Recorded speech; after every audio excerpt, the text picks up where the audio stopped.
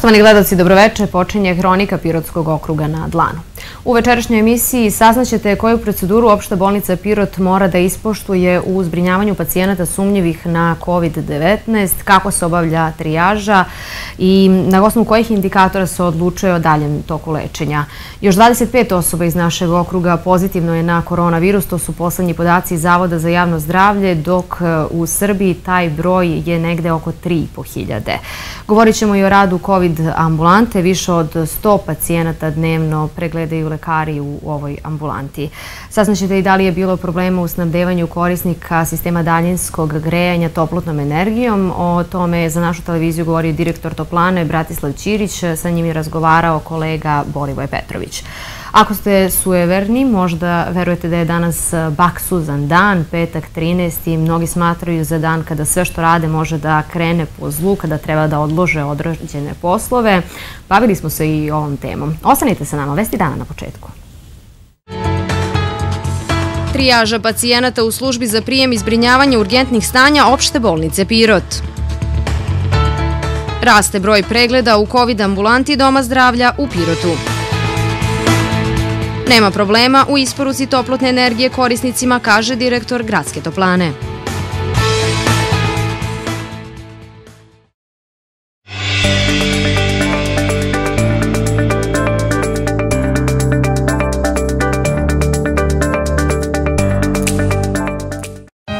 Nekada smo imali jedni druge. Imali smo tradiciju i poverenje. Pouzdanost je bila važna. Tražili smo sigurnost i sticali snagu. Vremena se menjaju, ali prave vrednosti ostaju. I tradicija se nastavlja. 45 godina prijateljstva. Dunav osiguranje.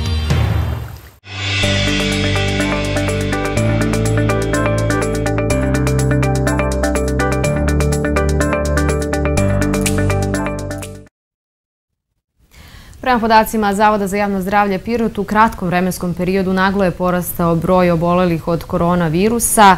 Koronavirus potvrđen je danas kod još 25 osoba na području Pirotskog okruga saopštene iz Zavoda. Navodi se da je juče testirana 31 osoba, a na koronavirus pozitivno je 11 piroćanaca, 9 osoba iz Dimitrovgrada i 5 iz Bele Palanke.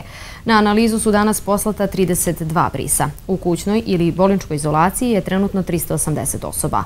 Od početka meseca registrovan je 141 slučaj obolevanja, najviše iz Pirota i Dimitrovgrada, gde se epidemiološka situacija ocenjuje kao nepovoljna. Epidemiolozi ističu da je situacija u Babušnici i Beloj Palanci nesigurna sa tendencijom prelaska u nepovoljnu. Prema zvaničnim podacima, od početka epidemije do danas od posledica zaraze preminulo je 30 osoba iz našeg okruga. A prema podacima Ministarstva zdravlja u poslednja 24 sata preminulo je 17 osoba od posledica koronavirusa u Srbiji, dok je registrovano još 3499 novobolelih. Testirano je 14.116 građana, objavljeno je na sajtu covid19.rs. Na respiratorima je 158 pacijenata, dok su ukupno hospitalizovane 3564 osobe. Na grudnom odeljenju opšte bolnice Pirot trenutno je pet pacijenata sa pneumonijom, dve osobe iz Pirota i tri iz Dimitrovgrada. Juče su upuštene na kućno lečenje dva pacijenta, dok su dva upućena u klinički centar Niš. Jedan pozitivan na COVID infekciju jedan negativan kome se pogoršala klinička slika. To je rekao za televiziju Pirot dr. Goran Petrović, direktor opšte bolnice Pirot. Da čujemo kako funkcionišu službe koje su zadužene za zbrinjavanje COVID pacijenata. Sa sumnjom na COVID infekciju juče se službi za prijem i zbrinjavanje urgentnih stanja opšte bolnice Pirot javilo 19 građana. Nijedan nije primljen na bolničko lečenje. Prijem takvih pacijenata i obrada radi se u službi za prijem i zbrinjavanje urgentnog stanja, trijažnoj službi, koja je i u situaciji kada nemamo epidemiju, pa centar, odnosno mesto, ulazno mesto u bolnicu da dolaze svi pacijenti i zarazni infektivni i nezarazni infektivni.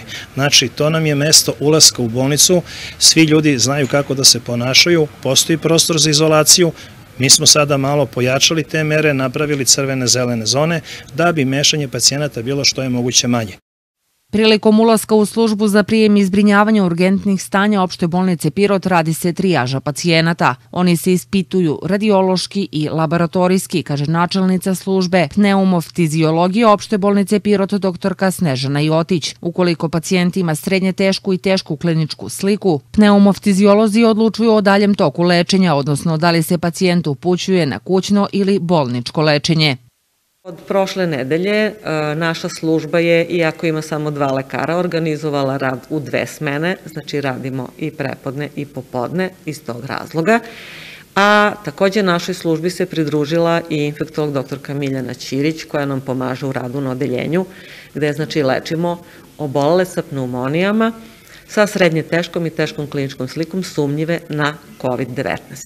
U slučaju kada pacijent koji je lečen e, na odeljenju, a dobijemo nalaz pozitivan na PCR, on u zavisnosti takođe od kliničke slike, ukoliko je njegova klinička slika dobra, odnosno ima oporavak, nastavlja lečenje u kućnim uslovima, što smatramo da je prihvatljivije za samog pacijenta, a ukoliko znači, se klinička slika komplikuje, naša je obaveza, s obzirom da nismo COVID bolnica, da ga uputimo u klinički centar Niš na dalje lečenje. Direktor bolnice objašnjava da je rad na trijaži pacijenata organizovan po principu zelene i crvene zone. U prijemnom odelenju napravili smo crvenog i zelenog lekara, crvenu i zelenu sestru, tu je još trijažna sestra koja na samom ulazu u prijemnoj službi usmerava pacijente, zavisnosti od prirode bolesti od potreba i od njihovih potreba.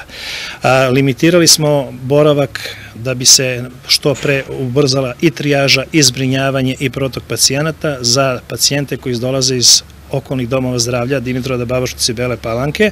Oni su kompletno pripremljeni, što znači da imaju laboratoriju i radiološke snimke i za njih je otprilike e, norma da za 30 minuta budu sagledani i rešeni.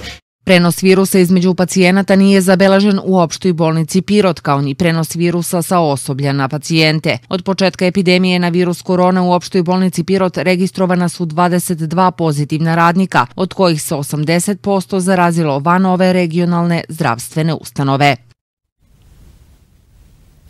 Povećan je broj pregleda u COVID ambulanti u Pirotu. Prema rečima doktora Radovana Ilića, direktora Doma zdravlja Pirot, o više od 100 pregleda obavi se dnevno u ovoj ambulanti, od toga su 50 od 100 kontrolni pregledi. Zbog povećane frekvencije pacijenata u COVID ambulanti, hroničnim pacijentima savjetuje se da lekarsku pomoć i podršku potraže telefonskim putem i na taj način će im biti produžena i njihova terapija. Povećanje broja pregleda u COVID ambulanti u Tijabari je i zbog činjenice da vremenski uslovi pogoduju razvoju virusnih infekcija i njihovom lakšem širenju. Povećana frekvencija pacijenata u COVID ambulanti je i zbog dužeg boravka u zatvorenom prostoru. Ono što ne treba izgubiti iz vida to je i e, povećano javljanje drugih virusnih infekcija koje su karakteristične za ovo doba godine. To su obični nazebi, neke standardne i benigne e, viroze, u očekivanju smo, u očekivanju smo pojave eventualnog gripa, koji ne znamo kad će u ovoj sezoni krenuti, i kada svemu tome dodamo i ovu pandemiju COVID-19, onda imamo ovakvu situaciju kakvu jeste. U COVID ambulanti u Tijabari rade četiri tima lekara i sestara. Ukoliko se epidemiološka situacija pogorša, broj timova će biti dupliran, a sve u cilju bržeg zbrinjavanja pacijenata do prošle nedelje u COVID ambulanti imali tri tima koji su zadovoljavali potrebe svih onih koji su se javljali u COVID ambulantu. Kako je počeo da raste broj, mi smo za sada dodali još jedan tim, tako da trenutno rade četiri tima. U svakom slučaju, ukoliko e, zahtevi budu takvi da se znatno povećava broj pacijenata u COVID ambulanti, mi ćemo duplirati bukvalno svaku ekipu u samoj ambulanti, a zlu ne trebalo, nadam se da se to neće desiti. E, ima prostora da se aktiviraju neki drugi, e, drugi prostori u našem domu zdravlja u cilju otvaranja nove COVID ambulante. Hronični pacijenti kontakt sa zdravstvenom ustanovom treba da odlože na neko vreme, apeluje direktor Ilić. Zdravstvene savete mogu da dobiju pozivom na brojeve telefona ambulanti, dok će terapija biti elektronski aktivirana. Terapija hroničnim pacijentima biće produžena na šest meseci, kaže direktor Doma zdravlja Pirot dr. Radovan Ilić.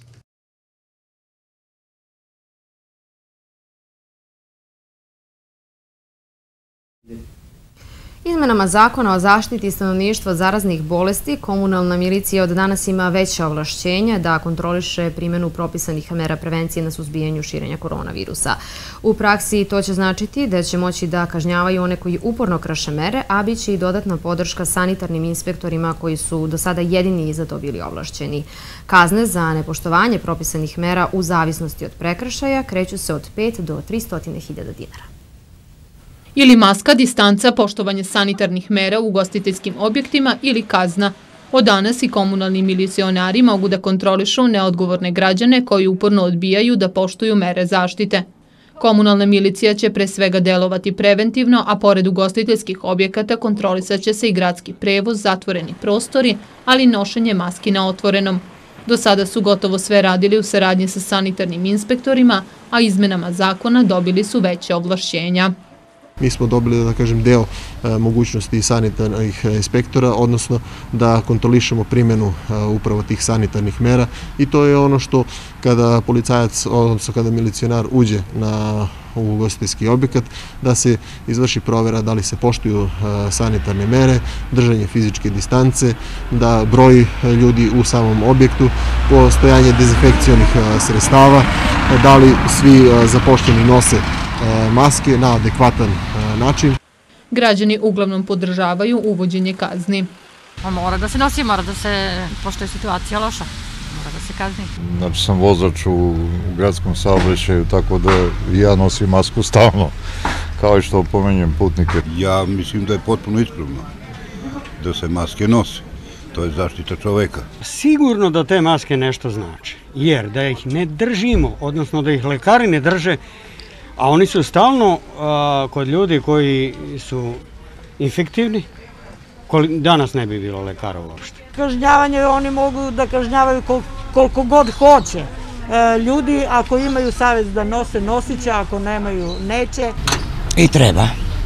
I treba kazne, pa stvarno. Ja mislim, Srbina dok po džepu ne udari, neće da se pometi. Mislim da su potrebne i da će biti manje bolesnih i zaraženih. Đorđević kaže da će svaki objekat po ovim izmenama morati da ima redara koji će biti zadužen za kontrolu primene mera. Ukoliko se ne poštuju sanitarne mere u samom objektu, redar se kažnjava sa 30.000, da prekšenim nalogom od 30.000 dinara. Tako da mi ćemo pokušati znači, u saradnji sa svim objektima u gradu, odnosno vlasnicima, odnosno korisnicima ovih objekata, da pre svega kroz saradnju znači, sa redarima da se upoznaju znači, sa svim merama i da oni te mere znači, na samom terenu i primenjuju, a mi naravno ćemo kontrolisati primjenu tih mera. Pored redara, ukoliko se mere ne poštuju, komunalna milicija može da napiše prekršajni nalog i pravnom licu u iznosu od 300.000 dinara, preduzetnika može da kazni sa 150.000 i odgovorno lice u pravnom licu sa 50.000 dinara. Takođe mogu da kazne i građane koji ne nose maske. Takođe ono što je vrlo bitno jeste znači obaveza nošenja zaštitnih maski u zatvorenom, u zatvorenom prostoru, javnom prevozu i čak i na, naravno, i na otvorenom, ukoliko nije moguće da se postigne sanitarna distanca od 2 metra između osobe, tada je obavezno znači, nošenje, nošenje maski i za ovo je predviđeno izdavanje prekršenog naloga u iznosu od 5000 dinara. Grad Niš trenutno ima nešto manje od 40 komunalnih milicionara koji će kontrolisati primjenu mera zaštite. Do sada su samostalno mogli da kontrolišu poštovanje radnog vremena ugostiteljskih objekata, pa su u septembru i oktobru napisali 64 prekršajna naloga.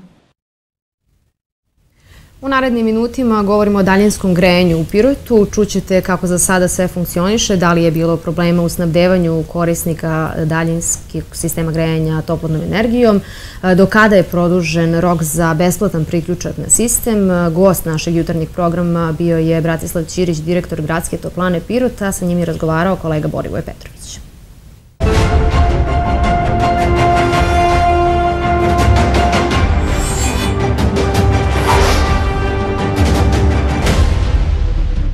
Metrolozi kažu da tamo već od ponedeljka kreću one ozbiljnije hladnoće, da je kralj Miholjskom letu i naravno ono što će nam biti najvažnije je grejanje za sve one koji su korisnici daljinskog sistema grejanja, naravno najvažnije je toplana i to je povod što ovog jutra razgovaramo sa direktorom gradske toplane, Vratislavom Ćirićem. Hvala što govorite za našu televiziju.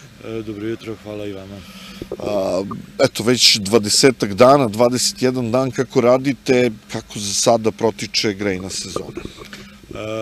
Da, 21 dan otprilike od ovaj, početka, možda i više od početka, zvaničnog početka grejne sezone, međutim, kao što znate, zbog niskih temperatura, mi smo negde tamo 11. 12. oktobra već krenuli sa grejenjem i od tada temperature nalažu da smo bukvalno svakog dana u tom nekom režimu grejanja, ujutru i uveče. E, sam oktobar je imao nekih 20 grejnih dana, nekih 170-80 grejnih sati, što je znatno, znatno više od prethodnog oktobra.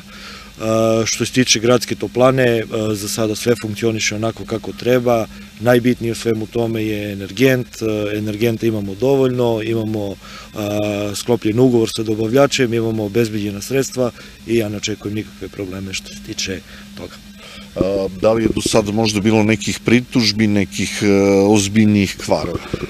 Što se tiče pritužbi, e, bilo ih je, naročito u oktobru mesecu, ali to je ona, da kažem, standardni problemi na početku grejne sezone, to je ozračivanje kućnih instalacija, to je pokretanje sistema, tih pritužbi je sve manje i manje, ozbiljnih kvarova nije bilo, ja ih zbog dobro urađenog remonta u pravom trenutku i ne očekujem ove sezone. Poslednjih nekoliko dana imali smo, da kažem, malo veće probleme sa zgradom u Stevana Sremca 48, to je otklonjeno odmah. Imali smo juče problem, dobili smo dopis upravnih stambene zajednice za Ustaničku 1 i tamo je otklonjen problem, tako da nekih većih problema, osim sporadičnih i pojedinačnih slučajeva, za sada nema. Direktore, treba i da pohvalimo zaposlene, zaista struktura ljudi, stručnjaci i kada se prijave kvarovi, čini mi se da, da se to rešava ukoliko je to moguće rekordnom roku. Tako je, mi imamo stručnu službu koja je zbog okolnosti u kakvim živimo i radimo i zbog pandemije COVID-19 i zbog mera vlade Republike Srbije za, u, u prilog uredbi o zabrani zapošljavanja, znači naše ovaj, kadrovski kapaciteti su bukvalno svedeni na minimum i ti ljudi iz tehničke službe bukvalno i u sezoni i van sezone stvarno daju sve od sebe i angažovano su maksimalno da ovaj sistem funkcioniše u nekom normalnom režimu, da nemamo velikih ispadanja, da nemamo prekida u toku grejne sezone, naročito u onim hladnim mesecima, kao što se dešava nažalost u nekim drugim toplanama. Sve je to plod dosadašnjeg ulaganja i investicije u toplanu i naravno angažovanje naše tehničke službe koje, kažem opet, sa minimalnim brojem ljudi trudi se da odgovori svim zahtjevima reagujemo i na, i na ovaj, prijave upravnika stambenih zajednica kada je problem u, celu zgradi, u celoj zgradi, reagujemo i na primetbe a, pojedinačne, znači kada je u nekom stanu, ali stvarno ovaj, naši korisnici moraju da razumeju za ono što smo mi nadležni i za ono što nismo. Reagujemo i za unutrašnje kućne instalacije gde nismo nadležni, makar konsultativno, ali smo uvek tu za naše korisnike, uvek izađemo na teren i vidimo o čemu se radi. Tako i treba. E, sad da kažemo, produžen je onaj rok za besplatan priključak, e, kako tu stoje stvari, kako to ide. Što se tiče besplatnog priključka, on je e, na kraju grejne sezone proglašena ta akcija, trajala je 30. septembra, međutim, e, odlukom nadzornog odbora gradske toplane, na zahtev stručnih službi, ona je produžena do kraja godine iz razloga što je bilo nekoliko stambenih zgrada koje su bile u završnoj fazi izgradnje, evo mi smo već u zadnjih nekoliko dana priključili ovaj, i uradili to probno grejanje kod tri novo izgrađene zgrade, naročito u naselju Senjak. Ja sam zadovoljan kako protiče ta akcija i očekujem još više ovaj, novih priključaka sam želeo da pitam, ovo nasilje sada reprezentativno, jedno od najlepših u gradu, e, znači ušle su u sistem e, daljinskog? Ušle su, znači zadnje tri izgrađene, ovaj, zadnje tri izgrađena stambena objekta ušle su u sistem daljinskog grejanja, u svakom od tih objekata imamo, e, da kažem, veći broj zainteresovanih i priključenih neko ranijih godina. Te zgrade su nove, te zgrade su energetski efikasne, imaju sve uslove za jedan konforan i, i da kažem i jeftin način grenja kada je zgrada energetski efikasna, kada se rade fasade, kada se radi i puno primenjuje tarifni sistem naplate u tim zgradama. Sad da pitam još nešto, bilo i zahteva za isključivanje sa mreže i tu izlazite u susret građanima. Tako je, postoji ovaj period u, u toku godina, to je između dve grejne sezona kada je a, po svim našim dokumentima dozvoljeno da se neko ovaj isključi sa sistema daljinskog grejanja. A, naravno izlazimo u susret, postoji određena procedura koja mora da se prođe, a, potrebna je saglasnost, zavisno od razvoda instalacija u, u tom stanu, potrebna je saglasnost stambene zajednice, potreban je projekat isključenja, sve to da se ne bi ugrozili ovaj okolni stanovi i da se na jedan propisani način to odradi. Imali smo zahteva za isključenje, uglavnom su to ljudi koji žive sami, sa niskim penzijama, u velikim stanovima, za njih je stvarno ovaj, izdatak za grejanje preskup. Raduje me da nemamo zahteva za isključenje zbog kvaliteta, odnosno zbog slabije kvaliteta grejanja i zbog, da kažem, neke greške toplane ili da grejanje nije dobro. Ona procedura zamene kalorimetara, dokle se tu stiglo, kako tu ide stvari? A, što se tiče kalorimetara, pretpostavljam da mislite na fond za energetsku efikasnost koji, koji raspisuje gradska uprava. Bio je i ove godine, odvojena su značajna sredstva, mislim da su dve ili tri stambene zgrade ovaj, prošla na tom konkursu, nekako se iz godine u godinu dešava da, da, da ti konkursi malo zakasne, ne krivicom gradske uprave, nego krivicom tih izvođača koji malo kasnije uđu u, u postupak i onda do nekle prvih par dana ti ljudi nemaju grenja, ali sve to na kraju legne i to je, mislim, pravi put i stvarno napor i gradske uprave, do nekle i toplane i zainteresovanost tih stambenih zgrada da uđu u taj tarifni sistem jer on stvarno pruža mogućnost da utičete na svoj račun, da uštedite toplotnu energiju i da svima bude, bude bolje tu se slažemo, naravno i ova epidemija zadaje probleme.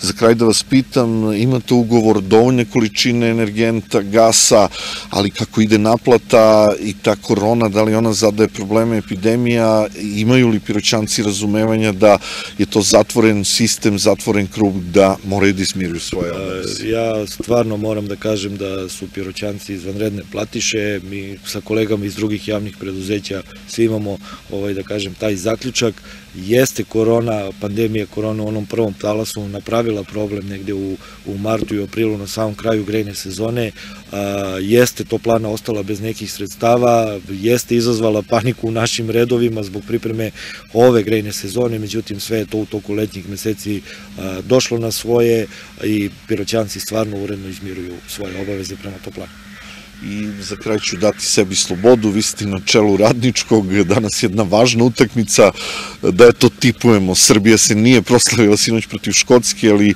radnički u seriji dobrih rezultata, dobro igra, tri boda bi nam mnogo značila iz Jagodine. Pa da, evo, mislim, vidite kakva je liga, vidite da je, da je svaka, e, svaki bod značajan, vidite da, da bukvalno za dva boda, da jedna utakmica od nerešene do, do pobede može da vas e, digne na sam vrh tabele, Uh, mislim da smo svi primetili da u poslednjih mesec, mesec i po dana igra radničkog je na sasvim drugačijem nivou, uh, vidi se energija, vidi se želja ovaj, tog tima da, da pobeđuje uh, i mislim da već u, u, u narednim utakmicama svi naši protivnici imaju respekta, imaju i strah od radničkog, jeste danas važna utakmica i svi smo tu i tim i, i stručni štab i uprava kao što ulazimo u svaku utakmicu, ulazimo u ovo, to je da se nadamo pobedi.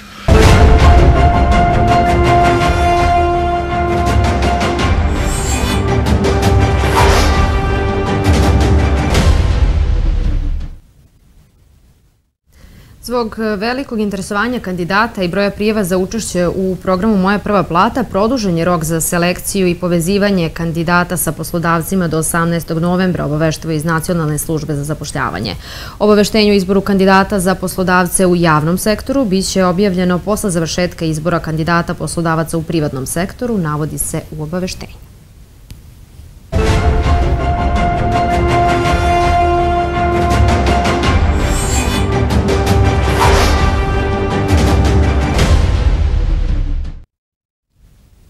Sledi sportski blok. Radnički je poražen na gostovanju u Jagodini od istoimene ekipe rezultatom 4-0 u utakmici 15. kola Prve Lige Srbije. Rezultat na poluvremenu bio je 2-0. U narednom kolu Radnički dočekuje ekipu železničara iz Pančeva. U četvrtom kolu prve rukometne lige Istok, omladinski rukometni klub Pirot i rukometni klub Vlasotince sastaju se večeras u Hali Kej. Utakmica će biti odigrana bez prisustva publike. Meč počinje u 20 sati. Tokom vikenda i ostali pirotski klubovi nastavljaju takmičenja, sledi najava zakazanih utakmica u našoj redovnoj rubrici Sportski vikend. Košarkaši Pirota imaće sutra težak zadatak da seriju od četiri uzastopna poraza prekinu duelu sa odličnom ekipom Kragujevačkog radničkog. Meč će svakako obeležiti duel dvojice najboljih centara u ligi Raška Katića i Mladena Pantića. Za naš tim debitovaći iskusni Vladimir Đorđević Furi, za koga su stigli papiri iz Slovačke i registrovanje za košarkaški klub Pirot. Susret osmog kola Košarkaške lige Srbije počinje sutra u 19 sati u Hali Kej. Igra se bez prisustva publike uz direktan prenos na televiziji Pirot. U sedmom kolu druge ženske lige košarkašice gimnazijalca dočekuju nedelju lidera prvenstva ekipu proletera iz Zrenjanina. Gošće su veliki favoriti u ovom susretu, ali izabranice Vladice Ranđelova učinit će sve da napravi iznenađenje i ostvore drugu pobedu u sezoni. Susret u Halikej počinju 18 sati. Posle tri odigrana kola, sasvim očekivano, rukometašice Pirota su prve na tabeli prve ligi isto grupa B. Za četvrtu pobedu u nizu morat će da savladaju ekipu Urtnja. Susret u Boljevcu igra se sutra od 19 sati. U sedmom kolu druge ligi isto kod Bojkaški klub Pirot gostuju Prokuplju ekipi Topličanin 97. Susret se igra u nedelju od 17 sati a u petom kolu regionalne lige Timok ženski odbojkaški klub Pirot u nedelju dočekuje ekipu Ozrene i Soko Banje. Utakmica se igra u Halike od 15 sati i 30 minuta. Ovog vikenda na programu su susreti predposlednjeg 14. kola jesenjeg dela prvenstva Zone Istok. U komšijskom derbiju Balkanski sutra 13 sati dočekuje pirotsko jedinstvo. Zbog vanredne situacije u Dimitrovgradu meč se igra na neutralnom terenu u Beloj Palanci. Danas Korajić u nedelju od 13 sati dočekuje ekipu Poloma iz Leskova, dok futbolski klub Senjak u istom terminu gostuju u Štubiku ekipi Branika. Danas je petak 13. i za neke baksuzan dan. Mnogi smatraju da u takvoj kombinaciji moraju da budu posebno obazrivi, da im se ne dogodi nešto loše i da ne bi trebalo da započinju nikakav novi posao. Um, obrešnjenja za poreklo takvog verovanja postoje mnogo. Čućete neka od njih i čućete kako se to posmatra s naučne strane iz ugla psihologa. Verovanje da je petak 13. baksuzan dan ima uporište u istoriji i biblijskim predanjima. Veza između loših dešavanja i Biblije pronalazi se u raspeću Isusa na Veliki petak i njegovoj poslednjoj večeri na kojoj je bilo 13 apostola. Nastanak sujeverija povezuje se, pored ostalog, i sa pogubljenjem Vitezova Templara 1307. godine i sa drugim najvećim krahom na berzama 1927. Dok je za mnogi ovaj dan proklet, te zato izbegavaju putovanja za počinjanje nekog posla, odlažu venčanja i donošenje važnih odluka za drugi je petak 13. tek običan radni dan. Nema baksuznog dana. U nama je sve kako mi razmišljamo. Nije nesrećan broj, to je velika sreća za sretni ljudi, a za baksuze jeste. Nisam baš verna, tako da ponekad meni je to srećan dan. Za strah koji kod pojedinaca izaziva petak 13. psiholozi imaju stručno objašnjenje, čak i diagnozu za takav osjećaj. Ono što je bitno kada govorimo o predrasudama, sujeveriju pa i stereotipijama, to je da su mnogo izraženije i naglašenije u trenucima kad smo sami nesigurni, kad smo anksiozni i kad, je, kad su uh, trenuci društvene krize, društvene nesigurnosti. E, kada gubimo veru u autoritete i kad gubimo veru u ono što su naši bazični oslonci sigurnosti, tad se javljaju mnogo više. Ako neko smatra da treba posebno da brine tog dana, to nije ništa strašno, ako mu to uliva sigurnost da ostane kod kuće i da bude malo prezni. Zbog uvreženog mišljenja da je broj 13 malerozan, u mnogim zapadnim zemljama visoke zgrade nemaju 13 sprat, a kući i hoteli nemaju ovaj broj. Nadam se da vam je ovaj petak 13. koji polako izmiče srećan i uspešan dan. Želim vam prijatan ostatak večeri i lep vikend, da mi se vidimo ponovo od ponedeljka u našim redovnim emisijama. Hvala vam na pažnji, želim vam prijatno i ugodno večer.